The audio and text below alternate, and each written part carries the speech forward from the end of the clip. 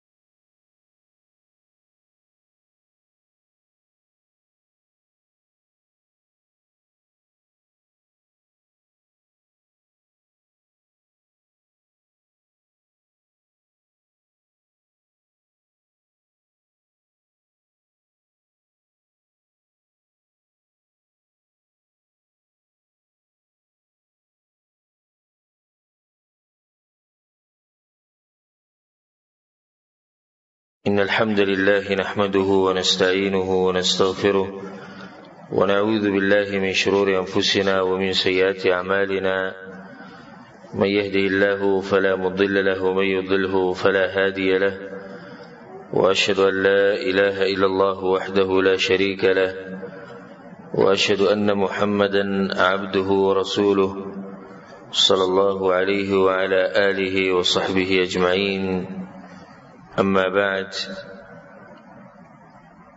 غټ ګناهونه یا کبیره ګناهونه په دغه موضوع باندې زمونږ درسونو د سلسله روانه وه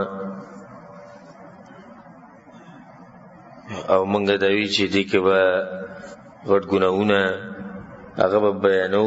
دغه تفصیل چې زمونږ درونه خو اندې دي ځان لري ساتي نننی موضوع بیانن چې به کوم ګناه بیانو نو هغه په ناحق باندې دی انسان وجل بی ګناه انسان بی ګناه مسلمان وجل او دا یو اهمه موضوع ده چې نن سبا ورته موږ ډېر زیات ضرورت لرو په دې کې څه شک نشته چې د انسان ډېر غټ قیمت دی د الله سبحانه وتعالی په نسبت باندې الله سبحانه وتعالی په قران کې ولقد کرمنا بني آدم الله وي موږ د آدم دی بچوله د انسانانو لډیر عزت ورکړي په دې ځمکه اسمانونو کې چې سید الله سبحانه وتعالی مسخر کړي د انسانانو لپاره وسخر لكم ما في السماوات وما في الارض جميعا منه نو د انسان عزت ته جل سبحانه وتعالی ورکړي چې د دومره غړ مخلوقات الله سبحانه تعالی د دې کمزوري انسان د لپاره مسخر کړي چې ته کوم طرف ته هم سترګې وګرځې نو یو نعمت وی الله سبحانه تعالی نعمت سره لپاره مسخر کړي الله سبحانه تعالی هم دغه انسان ته په ملایکو باندې سجده لګولې کله چې آدم علی السلام پیدا شو او الله سبحانه تعالی خپل لاسونو پیدا کونو ملائکو ته به سجده لګولې و هم دغه انسانانو د پر الله سبحانه وتعالى د پیغمبران را لګیلي او د دې انسانانو د پر الله سبحانه وتعالى د وحي نازل کړي او د کتابونو نازل کړي دا ټول دلیل دی په دې خبره باندې چې د دې انسان ډېر غټ قیمت دی د الله سبحانه وتعالى په نسبت باندې نو د دین د حفاظت لپاره الله سبحانه تعالی د جهاد په شان عبادت مونږ ته خوله د دې لپاره چې د دین حفاظت وشي او د نفس د حفاظت لپاره الله سبحانه تعالی قصاص خوله کې یو سړی راولېږي بل سړی مړ کینه قصاص په ځای غسل کیږي ولی چې د انسانانو حفاظت وشي د نفس حفاظت وشي او خودکشي الله حرام کړی دی چې سړی راولېږي ځان وژني نو دا ټول دې لپاره چې د نفس حفاظت وشي بیا زمونږ د عزت د حفاظت لپاره او زمونږ د نسل د حفاظت لپاره الله سبحانه وتعالی زنا حرام کړی ده زمونږ د نسل د حفاظت لپاره زمونږ د حفاظت لپاره زمونږ د عزت چې عزت ګډوډ نشي دا غیر لپاره زنا حرام کړی او دا غیر پر الله سبحانه تعالی مونږ ته وعده خوله او دا غیر پر الله سبحانه تعالی حد مقرر کړی دی چې یو سړی زیناو کی وعده د دې جنې وعده دی ورجم کی هم دا غیر پر الله سبحانه تعالی د کوړی خولی دی چې سړی زیناو کی او جنې سره زیناو کې او دوی واده نه دوی د پرده د سزا دا ټول دې لپاره چې زمونږ د عزت خیال وساتل شي دا ټول دې لپاره چې زمونږ نسبونه ګډوډ نشي به زموږ د مال د حفاظت لپاره الله سبحانه وتعالى غلا حرام کړی ده ولې چې زموږ د مالونو حفاظت وشي دوکا هر قسمه هغه هر هغه بیا چې وایي کې دوکې هغه شریعت حرام کړی دی ولې زموږ د مالونو حفاظت وشي سود الله سبحانه وتعالی حرام کړی دی ولې زموږ د مالونو حفاظت وشي دا غي د لاس زموږ د مال دی حفاظت لپاره الله سبحانه تعالی حد یې خو دې په غلا باندې چې سو غلا وکینو دا غلب دا د سزا ورکړي کی او پینځمه خبره الله سبحانه تعالی زموږ د عقل د حفاظت لپاره په موږ باندې نشید تماشې د حرام کړي او د نشود تماشو لپاره یو حد او سزا مقرر شوی نو دا پنځه خبرې اهمي خبرې دي چې شریعت د دې خبرو خیال ساتل لري دین نفس او نسل او عزت عقل او مال دا پنځه خبرې او شریعت د دې حفاظت کړي دې ټولو کې اهمه خبره غو دین دی د دین حفاظت شریعت نه غوړي چې زموږ دین ګډوډ شي نو داګه د پاره د پیغمبران را لګري دغه د پاره د کتابونو نازل کړي دغه د پاره د علما لګي دي دغه د پاره د جهادونه دي د ټول د دې لپاره چې د دین حفاظت وشي بیا د نفس حفاظت دغه د پاره بیا الله سبحانه وتعالى بی ګنا وجل د حرام کړي باغی باندې قصاص خو دی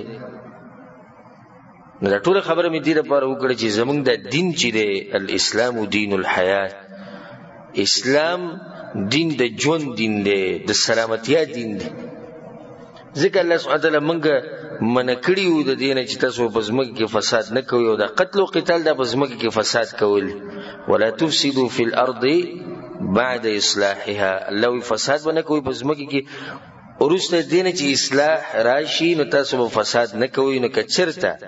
اجازه ملو شوی وي چې د هر چا مرزي ده که څوک وجني وجني دي او باغې باندې شریعت څه سزا نه دی خو دي نو زم چې د دې زمکه په دې سهال وي او د انسانانو په سهال چې دومره سختي باوجود هم بعض خلک د دې خبرې لحاظ نه کوي نو جله سختي به نه چې به ګوره سهال وي او بیا دا خبره د قتل او قتال یو بل وجل د قیامت ته نږدې ډیر زیاتی انسانان چې کم وخت نه دی دنیا ته راغلي الله سبحانه وتعالی حرام کړي په دوی باندې چې یو بل بنو جنې په نه حق خو بیا رسول صلی الله علیه وسلم دا خبره واضحه کړې ده چې قیامت ته به نږدې د ډیر زیاتی ځکه حدیث کې راځي وګد حدیث ته رسول صلی الله علیه وسلم وی او په صحیح بخاری کې دا حدیث ته ستكون فتن فتنې به راځي ډېرې غټې القاعد فيها خير من القائم په دغه فتنو کې چې څوک ناست دی نو هغه د ولاړ نه سره غوره والقائم فيها خير من الماشي او ولاړ پکې د روان نه غوره دی والماشي فيها خير من السعي او روان پکې د هغه نه غوره دی چې هغه پکې منډي وي او څوک چې رسول سموي د فتنو ته مخامخ کیږي نو د فتنې به خرابوي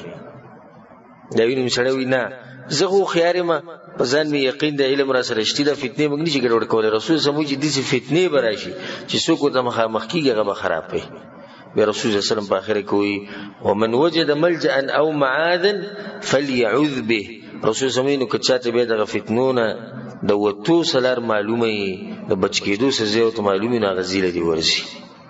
دې چې فتنه به قیامت ته نږدې راځي پای کې یو فتنه د قتل او قتال ذکر رسول الله صلی الله علیه وسلم په حدیث کې وایي ان بین یدی الساعه لهرجا قیامت ته نږدې قیامت راتلونه لږ وخت مخکې رسول صلی الله علیه وسلم چې هرج برازي هرج وډیر صحابه ته بوځي رسول الله هرج ستوي نو رسول صلی الله علیه وسلم القتل وجل صحابه کرام ډېر اوچت انسانانو نغو یا رسول الله ان نقتل الان في العام الواحد من المشركين كذا وكذا يا رسول الله دغه مسلمانان خو ډېر اوچت ځکه چې موږ په یو کال کې دوه دوه مشرکان وجو په دې جهادونو کې دوی به زمونږ نم زیات وجي دا وی د سوچو کې چې رسول الله مطلب دا دی چې قیامت ته بنږدې د خلک جهادونه لري زور ورګینه مشرکین به ډیر وجنی ناغوي چې زمونږ به دوی زیات تکړه نه رسول صلی الله علیه وسلم وتی لیس بقتل المشرکین هغه دغه نه دي او مشرکان وجل ولا نه دي خنو بسکی ولكن يقتل بعضكم بعضا بعض به بعض وجل حتى يقتل الرجل جاره تر دې چې سړی به خپل گاونډي وجني او ابن عمه و ذا قرابته د تر زوی به وجني خپل خپلوان به وجني دا حدیث امام احمد بن حنبل امام ابن ماجه راوړ څومره عجیب حدیث دی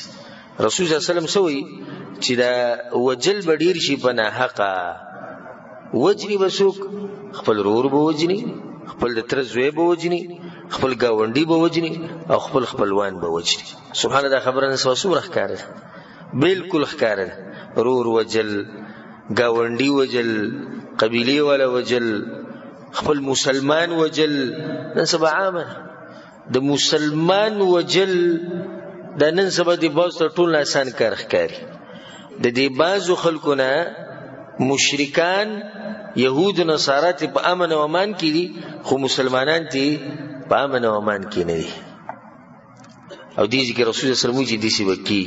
په یو حدیث کې رضی رسول صلی الله علیه وسلم وی په صحیح مسلم کې دا حدیث ته غوږ ته کېری والذي نفسي بيده رسول صلی الله علیه وسلم په هغه الله مې د قسم د چا په لاس کې چې زما سره لا تذهب الدنيا دنیا د هغه وخت پورې نشي ختمې ده حتی یاتی علی الناس یوم تر دې چې بخلکو باندې دا ورځ نه راغلی یعنی قیامت ته نږدې دي چې وخت لازم راځي د دې مخکې قیامت نشي راتله دا ورځ به څنګه لا يدري القاتل فيما قتل ولا المقتول فيما قتل رسول سمو هغه څوک چې وجل کې هغه ته پته نه چې زوري وجل کوم اکمې چې غریب وجل هغه ته هم پته نه چې زوري وجل خو بس قاتلوم لګي د خپل کار کې مقتول غریب ځان له نن سبا دغه حالت دي پلانیزي کې دماکو شو په دې سي جمع کو شو خدا کم غریبانان چې راغلي هغه مریان دي کم چې به کمړ شو ولی مونږ وجلې شو په سو وجه باندې وجلې هغه څوک چې وجني هغه تم پته نشي چې ولی وجني د دې د قیامت درانیش دي کېدو یو نه خدا چې رسول صلی الله علیه وسلم چې قتل او قتال بس شي دا به ډیر شي په ناحق وجل دا به عام خبره شي زموږ موضوع د نن په ناحق باندې یو انسان وجل او دا ډېره اهمه موضوع ده دې ته زموږ ډېر زیات ضرورت دی خاص کر د فتنو په دې دور کې د فتنو په دې زمانه کې او خاص کر په دې زمانه کې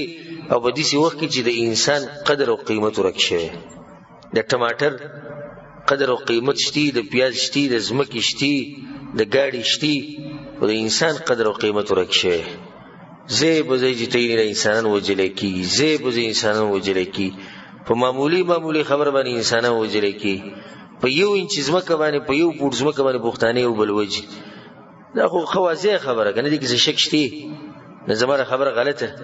په یو پټ خبره په یو پټ زمکه باندې په یو زمکه باندې بس پک خلک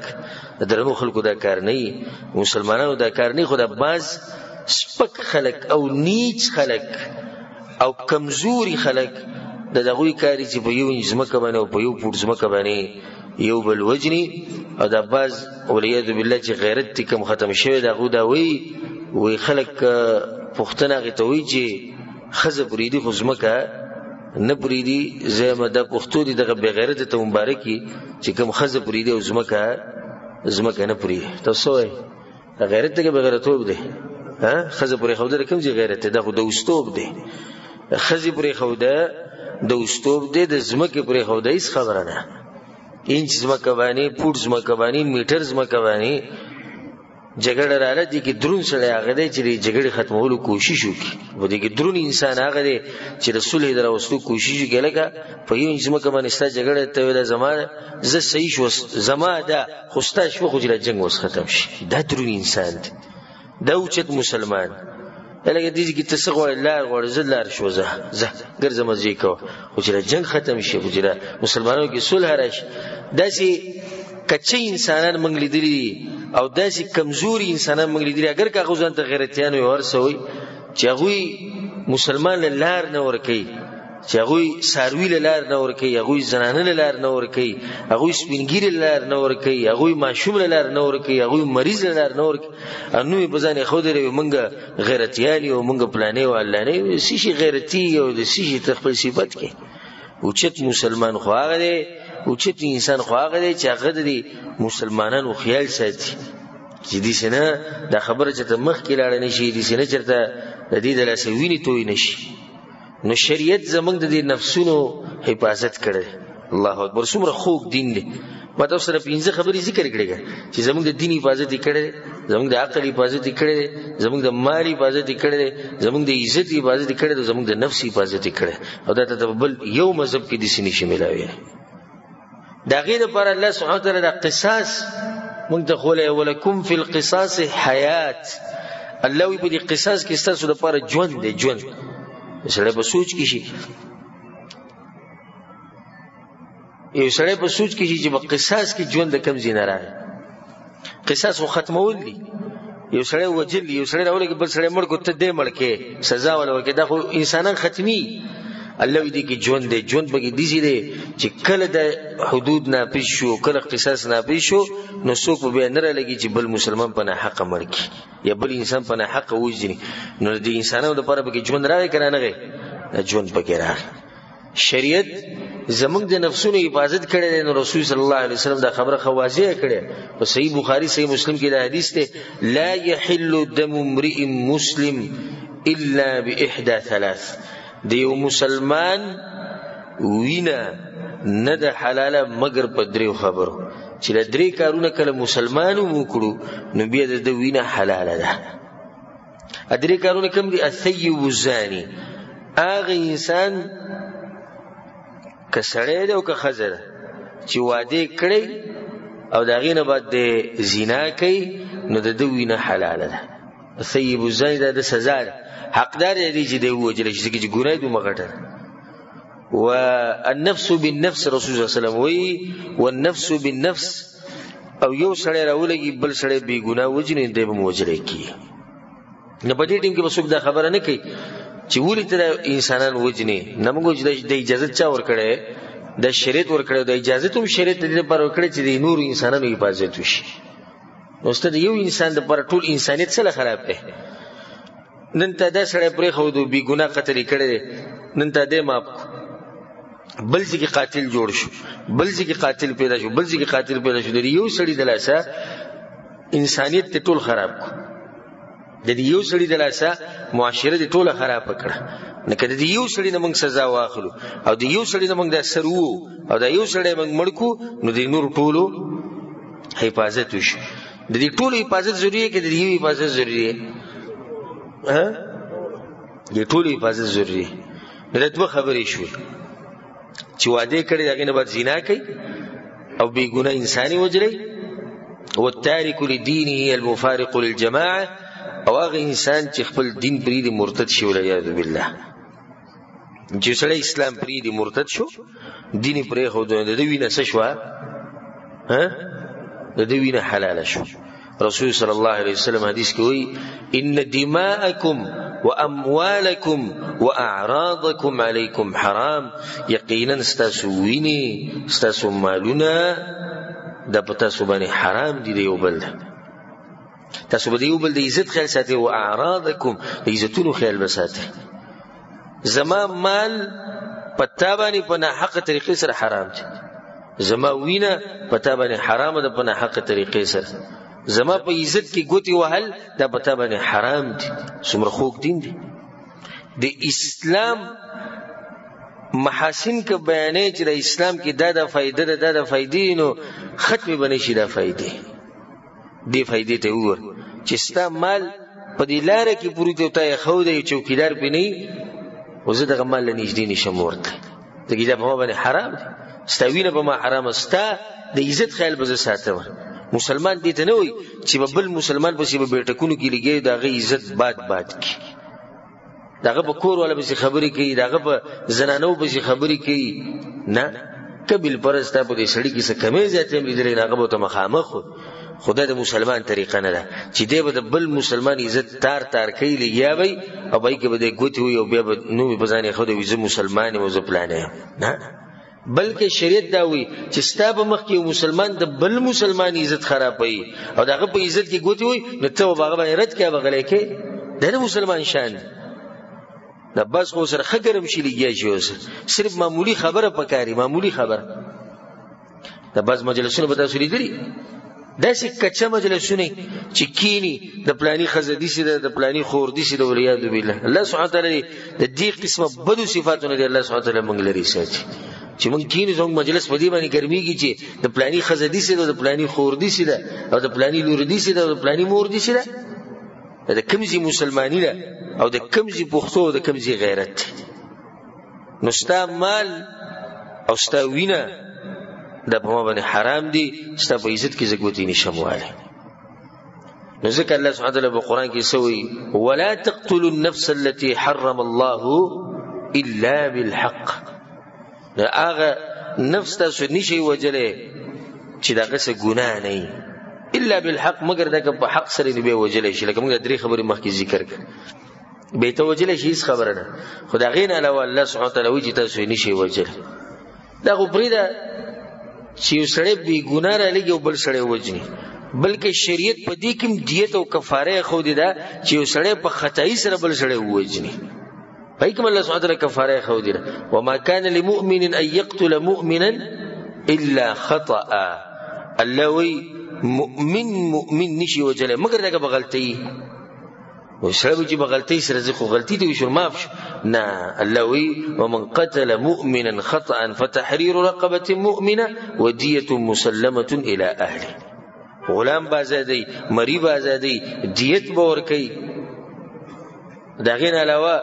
که غلام آزادولو طاقت یې نه وي فصیام شهرین متتابعین دوه میاشتې روجي پرې دي پرله پسې نو چې انسان دا خو پرې چې بی ګناي وجني په خطا سره چې مړ کو کنه په خطا سره نو هم پاګه کې دیت او کفاره شتي دا ټول خبرې په دې دلیل چې شریعت زمنګ د دې نفسونو حفاظت کړي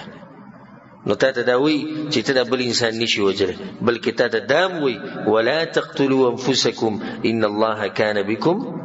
رحیما ولزانم نشي وجره ځکه خو خودکشي حرام کړي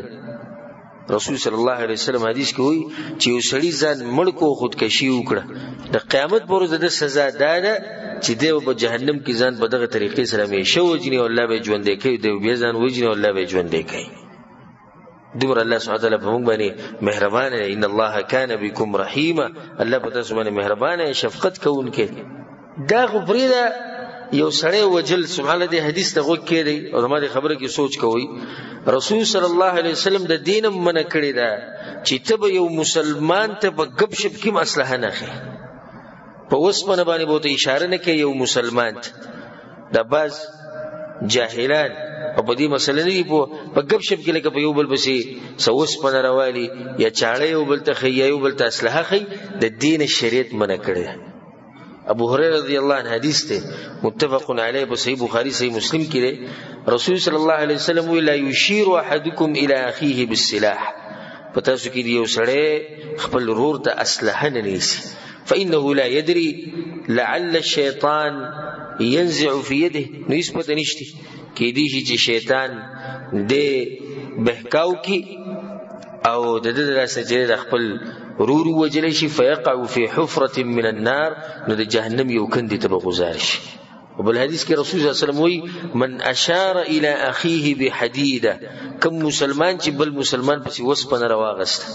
سی به پسې رواغست کړ وجیرو خبره زنه کوم یو سړی راولې کې بل سړی مړ کو په نه حق دا ډیره غټه خبره و دې ځکه خبره مونږ دا کو چې رسول صلی الله علیه وسلم وی چې یو سړی راولې کې د خپل رور ته په وسپنه باندې اشاره وکړه وسپنه بس راوته په دې دوام فإن الملائكة تلعنه حتى ينتهي نسوبر چې دا وسپنه نه یې خو دې ملائک په دمه اعلانتونه وي وان كان اخاه لابيه وامه رسول صلی الله علیه اگر کدا مخامخ سړی د خپل روري د یو پلار او د یو مور نه پیدای اگر که ټوغه کوي خو په ټوغه کې به مسلمان ته وسپنه نه خې هغه ته اصله نه خې هغه ته اصله نه نیسی په ټوغه کې به ته نه نیسی او که په ټوغه کې دوته اوسپنه ونیوه یا دې بس اصله هره واغه ساسې ټوغه دې کوله ملائک به په تا باندې لعنت وایي د هغه وخته پورې چې تاسو پورې د اوسپنه او د اصلحه ته یې ښودې نه دا حدیث په صحیح مسلم کې د دین زم چې دا حدیث کافی دی د دین او خيار سره پوسی چې دا وجل به سمغټه ګنای پوهیږي به انسان کنه پوهیږي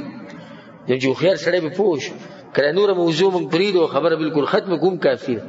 چې صرف وسپنه خو په مسلمان پسې وسپنه راغسته اسلحه راغسته دا غي دا ګناه ده او دا غي دا سزا ده چې سړی راولګي مسلمان مړ کی چې دغه به ګوره سګونه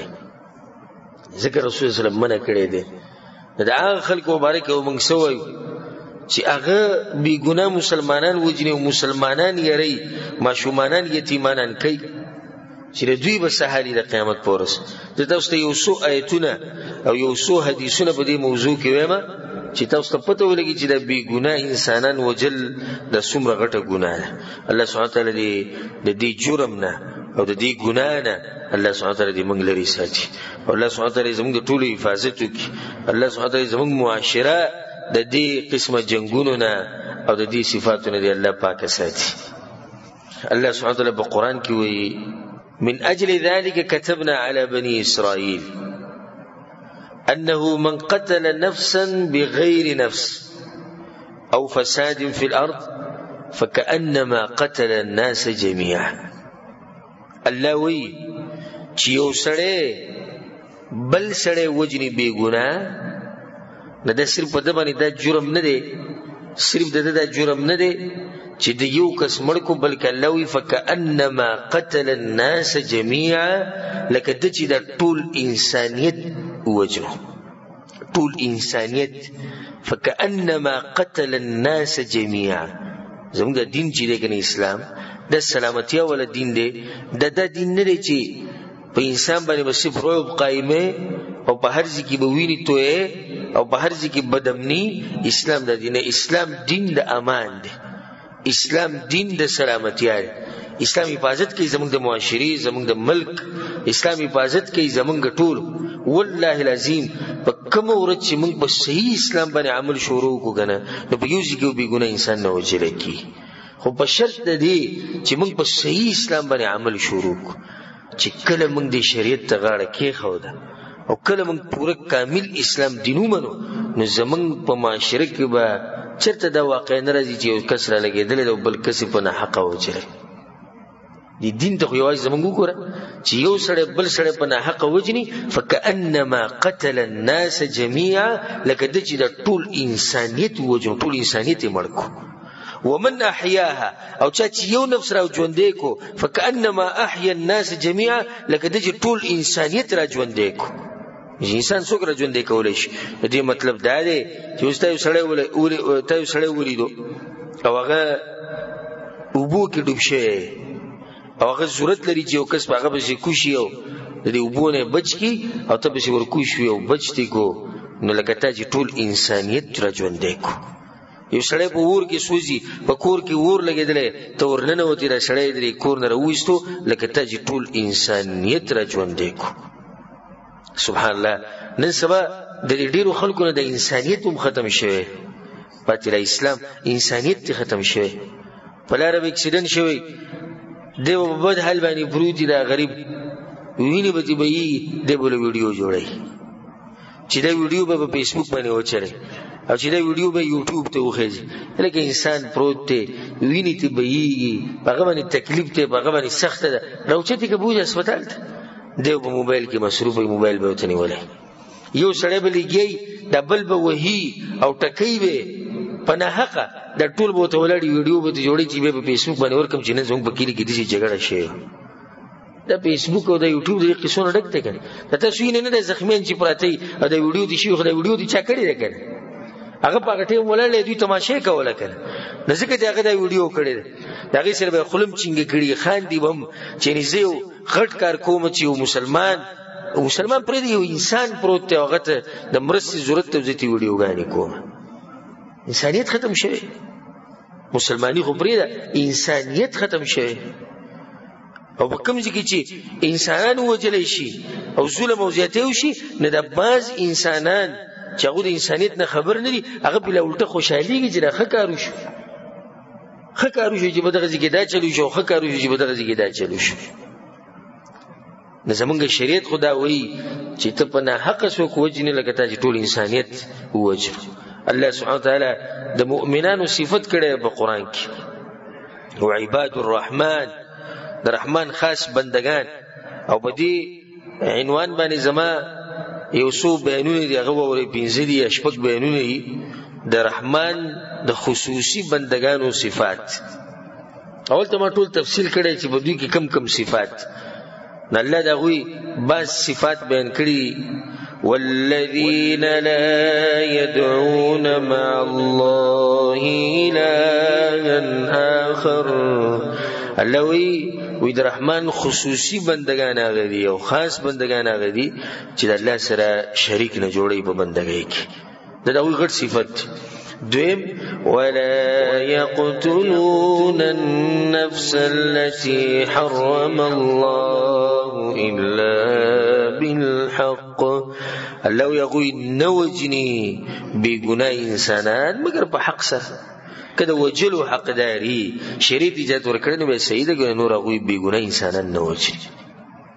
دا د رحمان د بندگانو صفات دي شریعت هغه خوک شریعت ته زمونږ انسان خو پرې دوی په زناور باندې بم شفقت کی په زناور بم مهرباني کی رسول صلی الله علیه وسلم سوی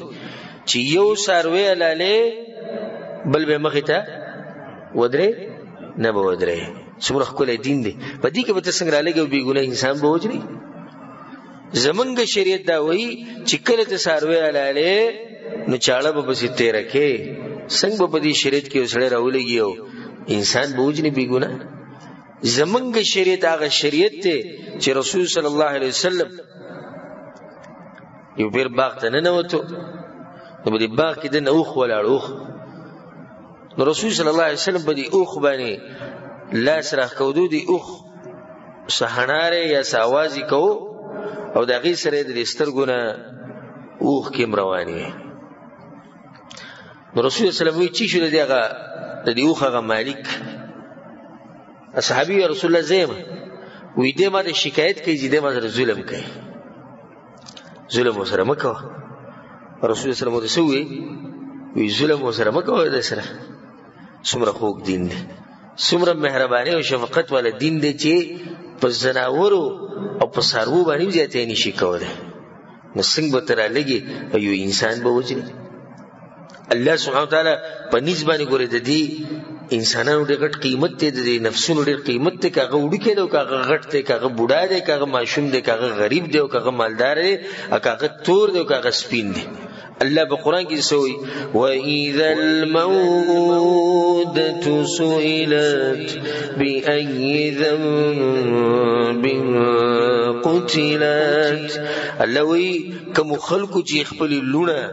خخې کړي دي لکه مخکې به په خلکو کې دا صفت و جاهلیت به وخت کې چې هغوی به د خپلې لوڼه ژوندۍ خښولې دا د دوو خبرو د لاسه یو خو هغه به د دې د لاسه چې غریبي را نه شي او مونږ به څه کوو که دا بچي دومره ډېر شي لکه نن سبا باز دي زیشتي وی بچې دو هی اچھے بچی بسو ساتي دوا دغه تعلیم یافته او روشن خیالي دوا وسره هغه دوه تیم بیا مړ شي یوه دغه څنګه ګرځي راځي دغه دوه دانی وسره یو بچی څوک دی ساتي به څنګه تربیت به څنګه تربیت به څنګه او رزق مولوی د کم ځای راوړي ته به چې د چرته د خپل رزق ځان له خپل پیدا کړي ته د وړکول نه چا ساتلې ته چا ساتلې ستا پلار کم تعلیم کړي او ستا د پلار سره کم داسې غټ جیدادونه ډیر خلک دې موږ سره شتي چې موږ پیژنو چې داغه پلار غریب او فقیر انسان شتي دې نشته کوم سره او چې بچی سم مالدار شي ته کم ځای د رزق دوی ته ملاو شو رزق خو الله ورکه نو هغه به دا چل کو د جاهلیت په زمانه کې چې دا جنکی به خخوري د بچی به وجل د دې د لاسه چې د غربت به مونږ رانه شي او دویم وي سباله د دې جنې د لاسه مونږ چې ته ونه شرمیږو او مونږ کمزوري ښکاره نه شو نو د جنې مثال کې یو قبیلې ته مونږ واده کړه د دغه قبیلې سره سباله زمونږ جنګ راغی د جنې د لاسه مونږ کمزوري شو نن سبا مخکې د صفت په دې عربو کې جاهلیت په وخت کې اوس د صفت الحمدلله په عربو کې نشته بلکې سبحان الله عربو غالبا لوړ ډیری کوم عربي سره چې مروي هغه لوړ ډېر زیات او په دې باندې هغه سم خوشاله چې دې ته بوزو کې تاسو لونه نه اول الحمدلله وي به دونه لونه او خارجه کوم پراخه او خمزي چرچی دا مرز اوس ومن کې چې لور وته وې لکه لکه ټمبم چې پیرواچو یره زامن خي هغه زامن چې به ویني یو چرسی او بل بنګي او بل ډاکوي او بل پالتو ګرځي کده یو برج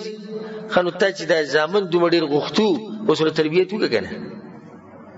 بچي خو هغه بچي دی چې هغه دینداري هغه جنید او هغه الکت بچی خو هغه بچی دی چې هغه د مور پلار د پر د سعادت یو ذریعہ وګرځي د خوشحالي یو ذریعہ وګرځي جنت تر تلو یو ذریعہ وګرځي کاغه الکی او کاغه جنې الکان ډیر شو ډیر شو په نوم باندې الکان ډیر سبي کی الک خو غالک ته چې دین د پر استعمال شو جنې هغه جنې چې دین د پر استعمال شي دسی بچي انسان له بکر چې الله سبحانه وتعالى وړي الله سبحانه وتعالی په قران کې د دې خلکو حالات را نقل کړو د فائدې لپاره دا خبره پوره کوم دغه د جاهلیت د خلکو حالات الله را نقل کړی دي کم چې پرېلونو باندې خبر کیدو نه دغه خلکو هغه حالات ته ګوره او زمونږ د پښتنو ته ګوره الله په قران کې وایي په سورۃ النحل کې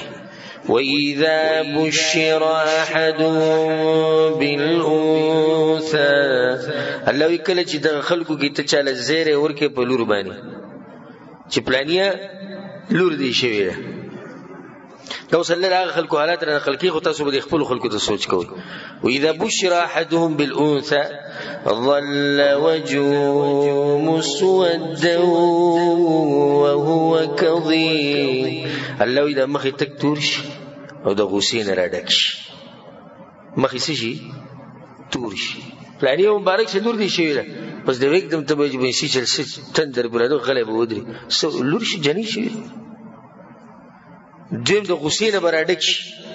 نو دا ښځه به ووایي وایي که د نن نه بعد دی جنۍ یې راوړه یاره د ده په شان قمقل انسان به د ځمکې به د مخ به یې نه دی کړی او په دې کې غیرتي ښځه هغه ده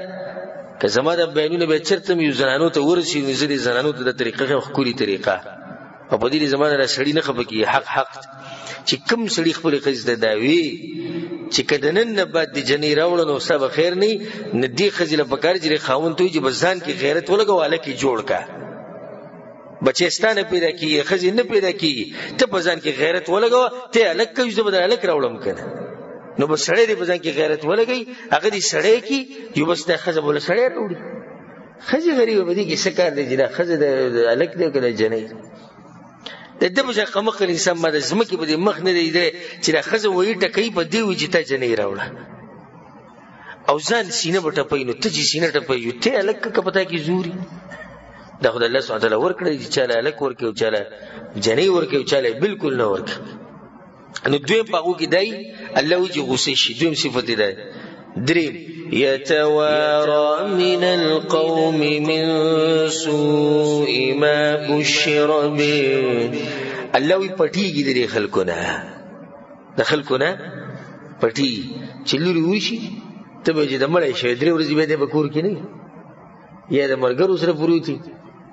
او یا چې د تر په کور کې پروت دي او یا د ماما په کور کې پروت دي کومړ شي کې سې چل شي چې ته کور دې نه راځي نه جی غریب خپه دی او دې ټینګ ګور سمو وای سې چل شي ولوري شي یتوارا من القوم من سوء ما بشر خا او بوختنو کې ته چل ګور مبارکي نشي ورکولې بلور باندې کته مبارکي ورکړنه د بد جاهلان سوی وي په موږ پورې خنده وشو ځکه وی چې مبارک شي نه ته بس کې اوس په کور کې جنې پیدا شو نه ته بس کې ته بس په غم کې وځه شریک کی اته بلړ شي نو دې څه بغلې نه شي یو ګنټه بغلې کینی چې زموږ د غم کې شریک یو نو بیا واپس کور ته راځي چې کم سړی په دې لور باندې خپکیږي زویما چې در پر د سزا خرج الله ولر سره نه ورکې دا بچي چې دې په پته ولګي چې بچي څومره اوچت نعمت ما خبره دا کوله خبره زموږ وګد شو د فائدې لپاره مې وګد کړه چې الله سبحانه وتعالى بد دغه جنین ته پوس کوي دا کوم چې وجل شوی د و اذا الموءوده سئلت اگر کغه وړه ده مته صدا خبره کوله چې د انسان قیمت د الله پنيز کده وړو کده او کده لوی دی و اذا الموعوده سئلت الله اذا دغه ماشومی نه بم ته پوس کوم د قیامت پورز به ای ذنب قتلت چې دا ولي وجل شي نه چې دې ماشومی نه ته پوس کی دا ولي وجل شي نه چې سړی بالغ انسان وجني د بچو پلار وجني د بچو مور وجني ماشومانان یتیمانان کوي خزه کونډه کی دنه ته پوس نه کی چې توري خلک وجني ولی تر ظلم کو یو څو حدیثونه به په دې باب کې وروم چې دا قتل په نه حق سم غټه ګناه ده تاسو ته د یو څو حدیثونه چې اندازه ولګي حدیث کې راځي معروف حدیث ته موږ څه پوری په درسونو کې بیان کړي په صحیح بخاری صحیح مسلم کې دا حدیث ته ابو هريره رضی الله عنه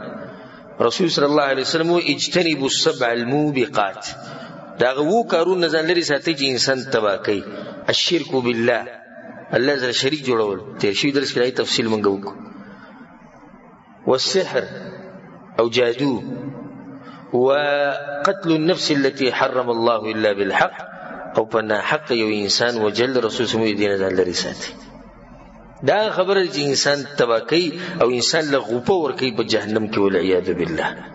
یو حدیث کې رسول صلی الله علیه وسلم په صحیح بخاری کې دا حدیث دی اذا تواجه المسلمان بسيفيهما کله چې دوه مسلمانان یو بل تر مخامخ شو د دوانو سره توري وي د دوانو سره توري وي فکلاهما من اهل النار نو د دوانو جهنميان دي دواړه جهنميان دي رسول الله صلی الله علیه وسلم وي د کوم چې د دواړو تور راغستي یو کس ته بوزو یا رسول الله هذا القاتل فما بال المقتول یا رسول الله د قاتل خبره خو واضحه ده چې ډیره لګیدې دا بلې مړ کړي خو دا مقتول ولې جهنم ته راغی رزق غزولم شي دی ولې جهنم ته ځي رسول صلی الله علیه وسلم ته انه اراد قتل صاحبه وې دم د قتل اراده کړو خو لاس نه دی برشه به اراده وکنه و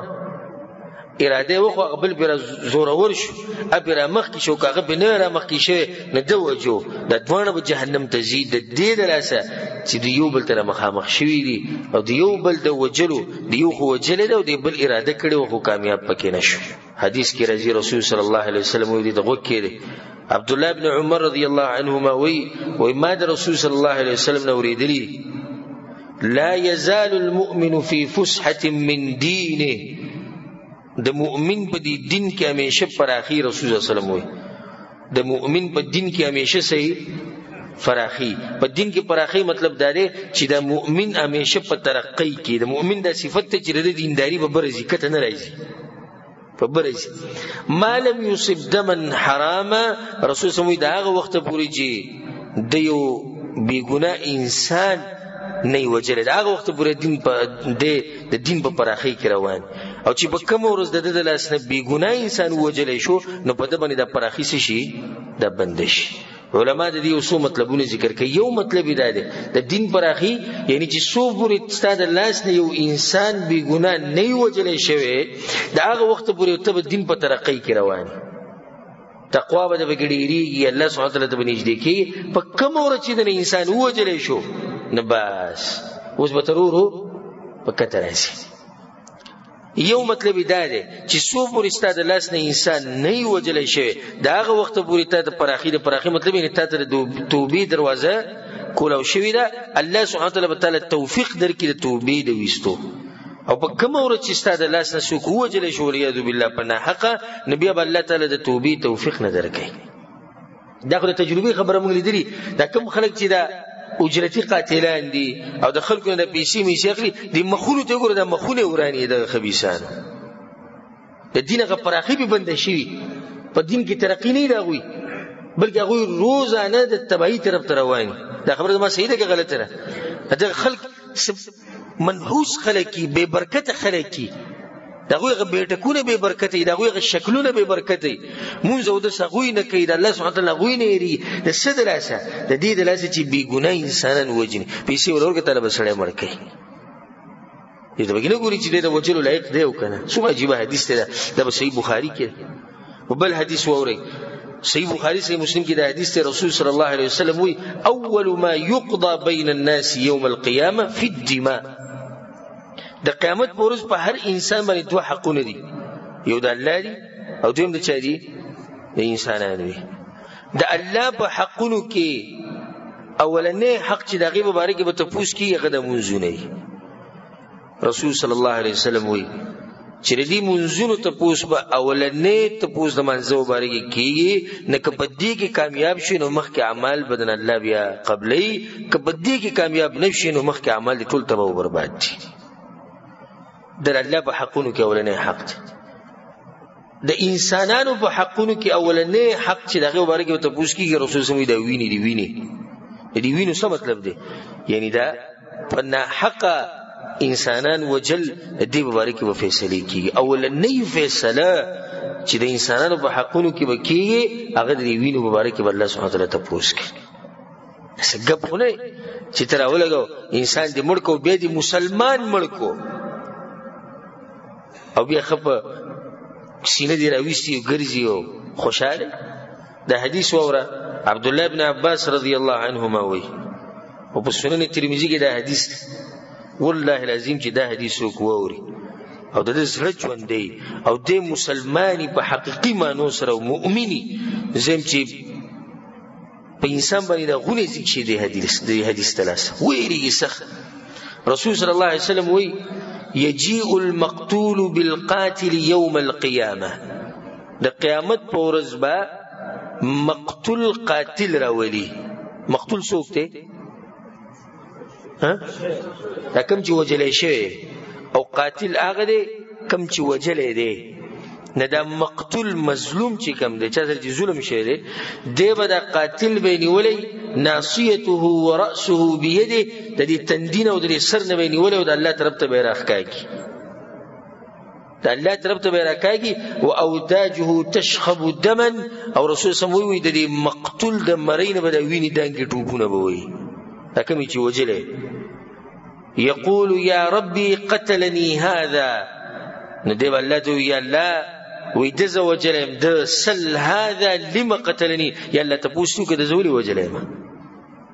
رسول صلی الله علیه وسلم حتا یدنیه من العرش را به کاږي را به کاږي د الله دی عرش ته به نږدې کی دي سي او بیا به الله سبحانه وتعالى سره کیس داخل کی چې الله د زوجل مد او د وینې به تازه قسم به یي یا له د وجل ته پوښتنه کوي ولې وجلې ما د دې وسوک جواب ورکړي چې ما په دې وجلې تاسو یو شرعي د شریعت اجازه تاسو نشئ سړي سره اجازه ده صحیح جواب بور کی یا الله ته اجازه راکړو چې وجلې شي یا الله ست پیغمبر اجازه راکړو چې دې سړی وجلې شي دا غین علاوه تاسو سره س خبره ده س جواب دی چې ته الله سبحانه وتعالى ورکی څومره عجیبه حدیث دی رسول صلی الله علیه وسلم وی او دا حدیث امام نسائی رحم الله راوړی غوګو ته کې دی کل ذنب عسى الله ان یغفره هر ګناه کې دی چې الله وبخي رسول صلی الله علیه وسلم مسوي وی هر ګناه کې دی چې الله وبخي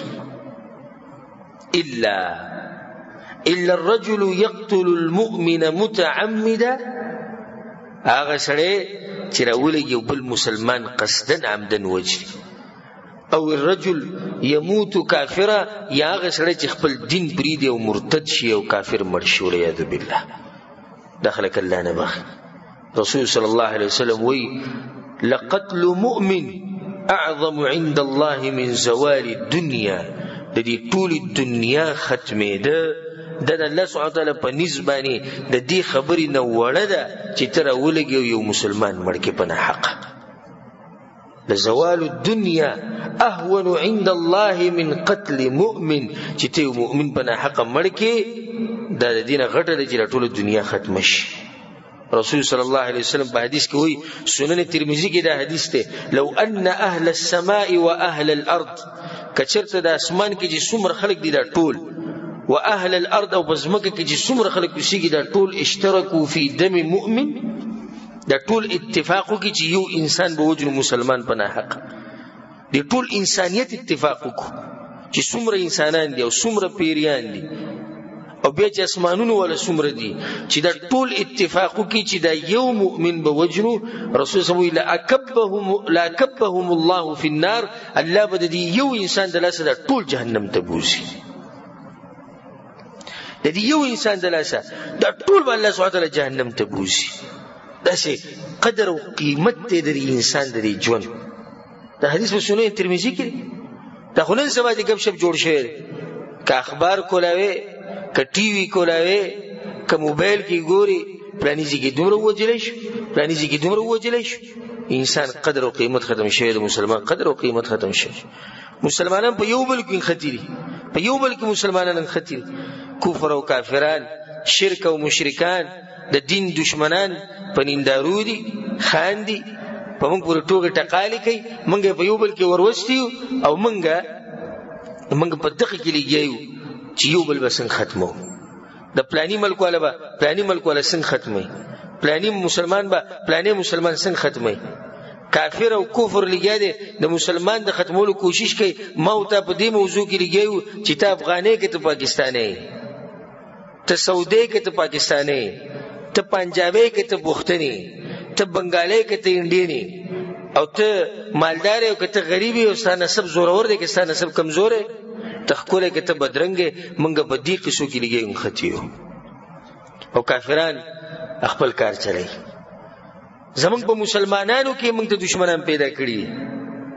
نو هغوی لګیا دي مسلمانان وجري د توحید کلمې په سینه کې پرتې د توحید عقیده په سینه کې پرتې د براولې کې دیو مړکی